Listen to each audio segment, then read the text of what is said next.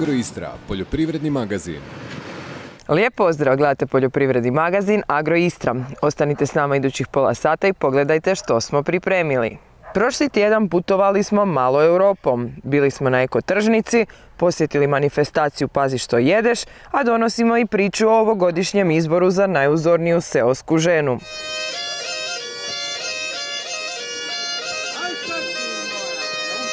Prošli smo tjedan malo putovali Europom. U tri dana posjetili smo tri europske zemlje, Latviju, Njemačku i Grčku.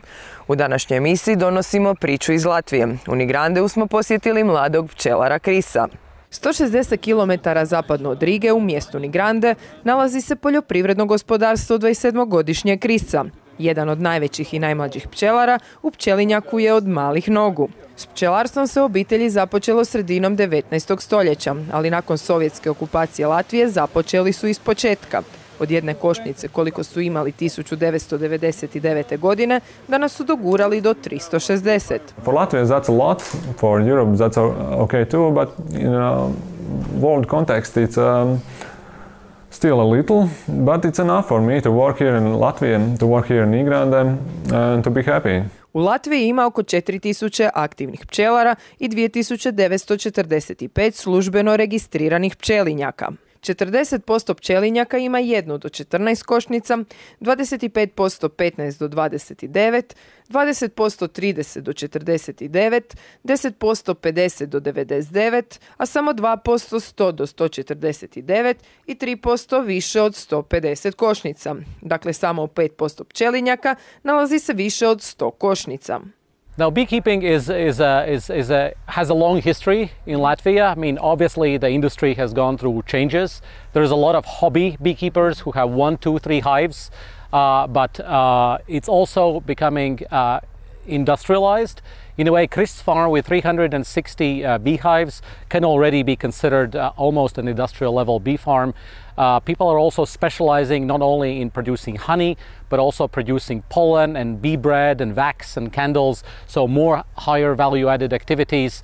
Uh, there are uh, hundreds of, of, beekeepers in Latvia, but there's a small minority which are larger farmers. There's a lot of farmers which are very, very small, for which it's uh, either a hobby or only one of the economic activities. So this, this traditional activity is going through a lot of change and modernization uh, these days in Latvia. Kris proizvodi cvjetni med, a pčele su pozicionirane na 20 lokacija. U dobroj godini moguće je dobiti 30 kg po košnici.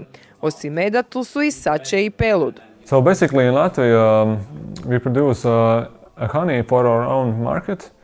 We do export honey. Our apiary isn't doing that, but um, the prices have risen in recent years and uh, basically the beekeepers are working for uh, Baltic region market for Estonia, Latvia, Lithuania. But we are exporting uh, bee bread and pollen, and um, our neighboring countries are doing that as well.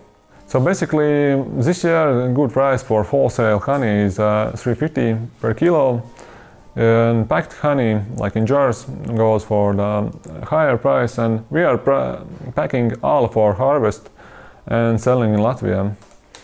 Modernizacija pčelinjaka obitelji Eberlinš započela je kad su dobili europske novce. Oko 9000 eura dobivenih kroz LIDER projekte utrošili su na modernizaciju pogona. We have bought hives, honey extractor, back smelter, but uh, basically the amount of money isn't as much uh, like crucial for our deputy as uh, maybe I could have expected, but the main um, idea is to to work for me it's to work less and uh, to make new jobs uh, because right now I don't have any free time and that's kind of sad. U Latviji poljoprivreda dobiva najveća sredstva iz EU fondova. Kroz razne programe u sedmogodišnjem je razdoblju investirano oko 1,7 milijardi eura. Agriculture is a relatively important sector of the economy. It accounts for 5%, whereas in EU average it accounts for about 2% of the economy. Uh, agriculture in Latvia receives the largest portion of EU funds. It's in excess of 1.5 billion uh, euros in this uh, current seven-year period. Uh, it basically goes into two, two, areas. One is the direct farm payments for the hectare, and other is the modernization for equipment, for uh, boosting the, the production. So these two areas. There are also uh, interesting programs for young farmers, uh, leader program for, for uh, sort of moving from the cities to the countryside. And this farm, this bee, uh, bee farm that we're seeing is one example of uh, this support. Poljoprivredni sektor u Latviji iznosi oko 5% BDP-a, a zapošljava 8% radne snage. Kroz EU fondove gospodarstva se moderniziraju, potiče se veća proizvodnja, uključenost mladih i ostanak, odnosno povratak iz grada na selo.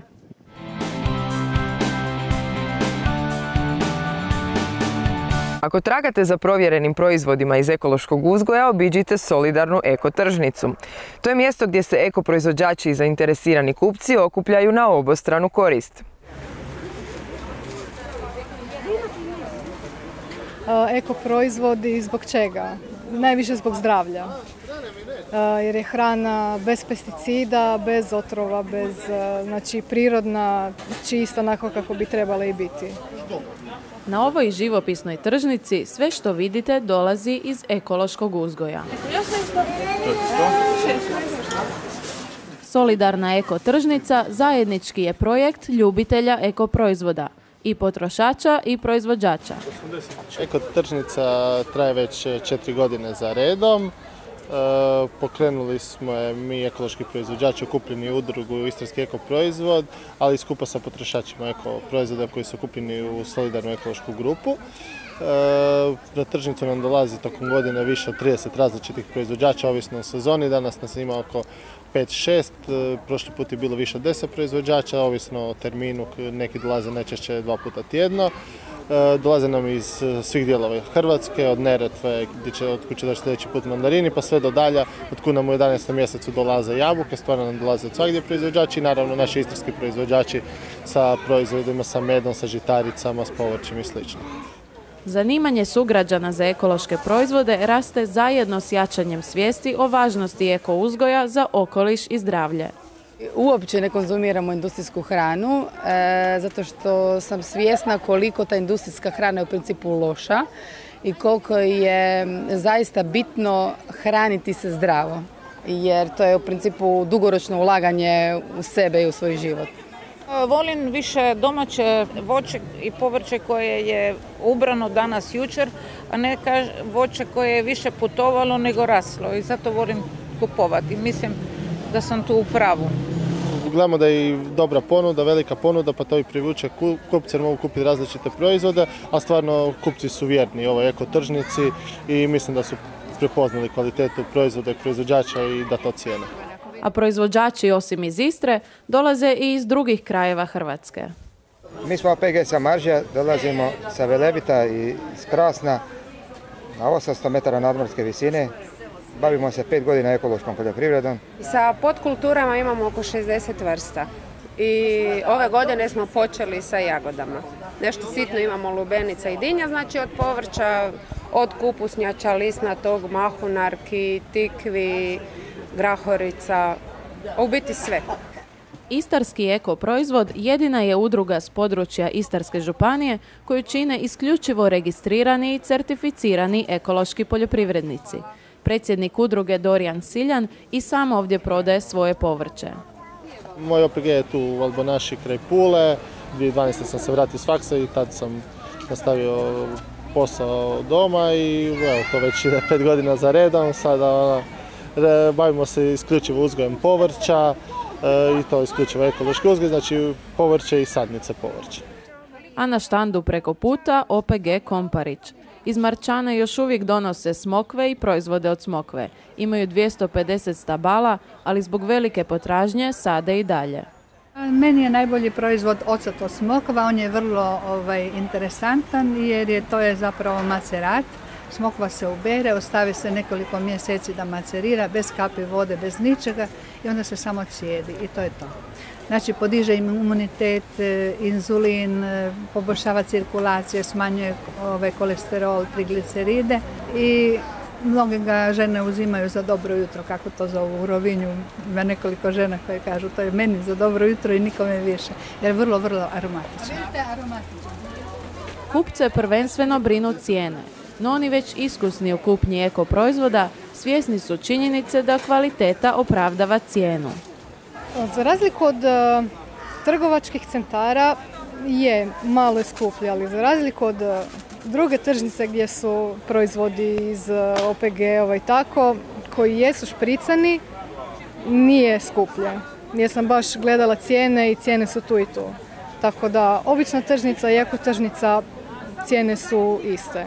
Ljudi misle za proizvod da su preskupi kupuju po velikim supermarketima nekvalitetnu robu, ne znaju zapravo šta jedu, što je najbitnije u cijeloj priči. Dok ovdje ljudi e, dođu, kupe kod provjerenih, znači to je jedna mala skupina ljudi koji sami sebe međusobno e, podržavaju i sami sebi ne dopuštaju kvariti jedan imidž, jedan status, čak niti ne zdrave, nego normalne prehrane. Ovdje se odnos potrošača i proizvođača bazira na solidarnosti i povjerenju. Zato su zajedno okupljeni u solidarnoj ekološkoj grupi, a tamo je sve transparentno sami proizvođači se poznamo međusobno i dopuštamo na tržnicu da dolaze isključivo proizvođači što znamo da imaju svoje proizvode. Jer mi znamo koliko otprilike sa dva hektara može biti jabuka i ne može neko voziti jabuku cijelu godinu ako ima samo dva hektara. Tako da se tu često i desi da nema jabuke, da nema nekih proizvoda, da, da nema mandarina kroz cijelu godinu, da nema blitve kroz cijelu godinu i slično. Mi osobno pazimo i to kontroliramo, mogu reći da u biti kontroliramo jedni i druge jer svima je cilj da zadržimo povjerenje e, potrošača, tako da ono, svako kad ima sumnju u nekoga, onda to kaže drugom proizvođaču, tako da ono, udruga smo i pazimo stvarno na to i ne dopuštamo da, da se to neko provuče na takav način. No može li se zaraditi od ekološke proizvodnje? Pošto smo mi na Velebitu, kod nas je iznimno kratka vegetacija. Da je vegetacija, recimo kod nas je vegetacija znači nekih možda pet mjeseci, ako rastegnemo šest i to je iznimno kratko. Da je duža vegetacija, e, nećeš tu sad ti biti, ne znam, neki boga čovjek, ali bi lijepo, mogo bi živjeti od tog rada i imamo nešto pod plasteničkom proizvodnjom, nekih možda 500 kvadrata, ali kad, kod nas kad bude minus 20, minus 25, to ne može preživjeti, ne može ništa. Tako da, borimo se. Dobre. Solidarna ekotržnica čeka vas svakog utorka u Šijani u Puli i svake druge srijede u Rovinju od 17 do 19 sati. A što se kupovalo prošlog utorka? A danas svašta pomalo, od jaja, cikle, mrkve, kineske blitve, čak i to imamo, salate, kupus, u principu sve što se sezonski nudi. E, danas sam kupila prvi put sir kod pekice, sviđao mi se i uzela sam komad za probat. A to ne znači da neću doći drugi utorak i ponovo kupiti ako mi se bude sviđao. Jer volim domaće proizvode i da su kvalitetni. Ćemo kupiti manje i slače, ćemo imati manje kila.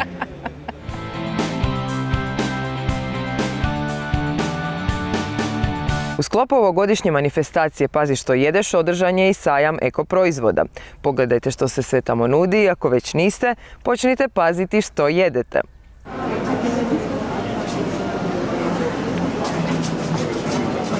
U Pulskom Čirkolu održao se po sedmi put festival Pazi što jedeš. Organizatori iz Etnološkog muzeja Istre odlučili su da je ovo pravo mjesto za upoznavanje posjetitelja s ekoproizvođačima.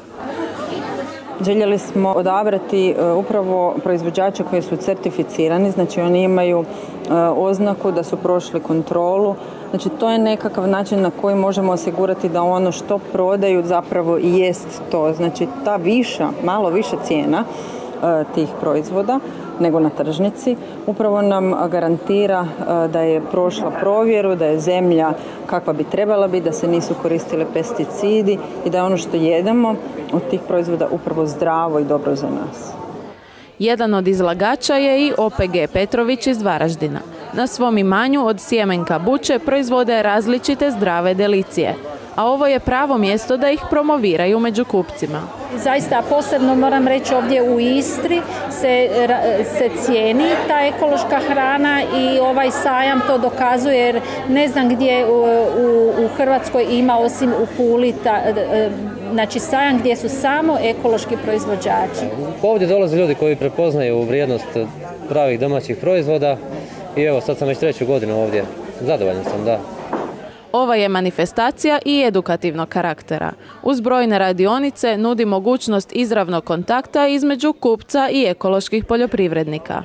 Ljudi su čuli za aroniju, ali ne mogu povezati njen okus. E, ovaj način je iznimno važan da bi ljudima približili i dali mogućnost da degustiraju ono o čemu pričamo. Smilje, Ovogodišnja tema je prenošenje tradicijskog znanja pripremanja namirnica. Smatramo i ono što smo pokazali u našem vizualnom identitetu da je jako bitno da sve ono što su naše none znale, da znamo i mi i da prenosimo to našoj djeci. Djeca iz vrtića i škola sa velikim zanimanjem obilazili su svaki štand i isprobavali što se nudi. Ako im nešto žele poručiti organizatori ovog festivala, onda je to da od malih nogu paze što jedu.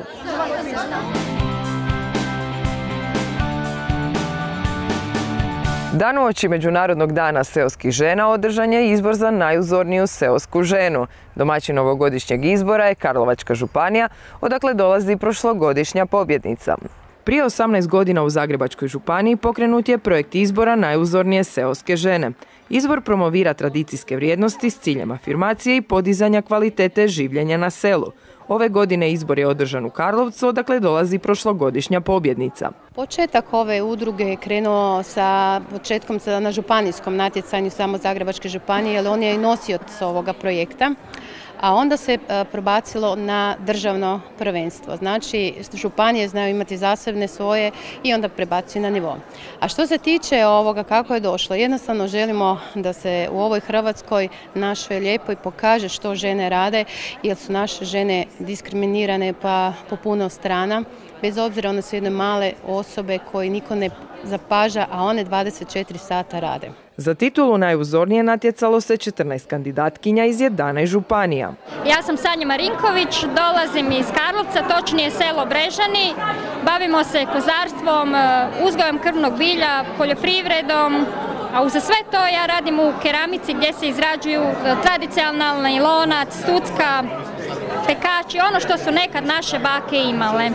Uza sve to imamo i izletište gdje nam svaki dan dolaze vrtička djeca, školska djeca, imamo školu u prirodi, djeci malo prezentiramo sadnju, e, malo muznu, koza, igru sa konjima. Mi se bavimo uzgojem cvijeća e, i povrća, isto tako sadnica cvijeća i povrća i e, prerađevina od povrća. A isto tako to cvijeće koje uzgajamo pretvaramo u aranžmane. Istarsku županiju na natjecanju je predstavljala Ljubica Franjuli Svetog Petra u šumi. Radit se mora, puno se radit mora. Evo, današnji dan meni je godišnji odmor. Znači, moji rade stvarno jedan veliki sajam koji moraju odraditi ali evo, meni je to godišnji odmor, ali naravno, to sam prije već morala odraditi jako puno stvari da bi ja danas mogla tu uživati. A e, živjet se može, naravno, e, samo se mora puno raditi može se živjeti. Čak i mladi mogu i trebaju ostajati doma na selu. Titula najuzornije seoske žene ove godine nije otišla daleko. Predstavnica grada Zagreba Renata Bedeković najuzornija je seoska žena 2017. godine. Ja ću raditi i dalje svoj posao koji sam i do sada radila na OPG-u. To je moj zadatak, to je naša egzistencija a dalje ću vidjeti koje, vidjeti koje su moje obveze, kako i na koji način ja mogu doprinijeti da zaista seoska žena bude prepoznata, da se seoska žena više cijeni, eto, da imamo nekakve prioritete, e, jer seoske žene se moraju educirati, one moraju poznavati informatiku, tehnologije napreduju, nisu više danas seoske žene kao što su bile nekad kada je moja mama imala vrti kada smo obrađivali. Znači ja se svakodnevno educiram, eto tu mi pomaže i moja snaha, moji sinovi, Uloga seoske žene zanemarena je kako u Hrvatskoj, tako i u Europskoj uniji. Potvrdila je to i zastupnica u Europskom parlamentu Marijana Petir. Samo 29% žena na selu su nositeljice obiteljskih gospodarstava, a one druge pomažu svojim supruzima, što znači da je njihov rad nažalost nevidljiv, nije registriran, nije plaćen, one nemaju prava koje proizlaze iz toga, trebala bi proizaći, pa nemaju mirovinsko, zdravstveno, nemaju plaćen porodini e, dopust, nemaju nikakve beneficije, e, što naravno onda i kasnije izaziva određene poteškoće, posebno kad se dođe u stariju dob. Iz tog razloga smo otvorili to pitanje neplaćenog rada i ja bih voljela da nekako i E, države članice u čijoj to je nadležnosti primijete taj problem i riješe to kroz zakonsku regulativu. Ali isto tako, e, ono što sam saznala i što me šokiralo, da kroz e, programe ruralnog razvoja, a primjerice za Hrvatsku je odobreno 2,4 milijarde eura do 2020. postoji mogućnost da se uvede poseban podprogram za žene, kao što imamo primjerice za mlade, pa im dajemo 50 tisuća eura bespovratnih sredstava. Niti Hrvatska, niti jedna druga država članica nije taj podprogram za žene uvela, pa ja pozivam ovim putem da budemo prvi da to učinimo i na taj način pomažemo, e, pomognemo e, ženama na selu da razviju svoja gospodarstva, da razviju svoje kreativne ideje i da mogu pošteno i uspješno živjeti od svog rada što su zaslužile. Jer one su prave heroine. Ovogodišnja pobjednica kao i njezine prethodnice posjetit će Marijanu Petiru u Europskom parlamentu. Tamo će imati priliku prezentirati s kojim se problemima seoske žene susreću i što bi se trebalo poduzeti da se ti problemi riješe.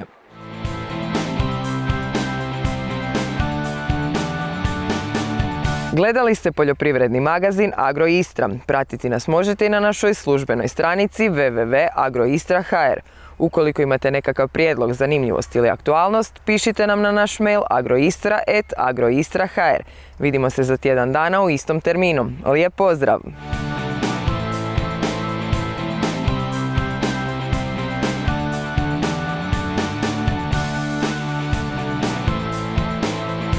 Agroistra, poljoprivredni magazin.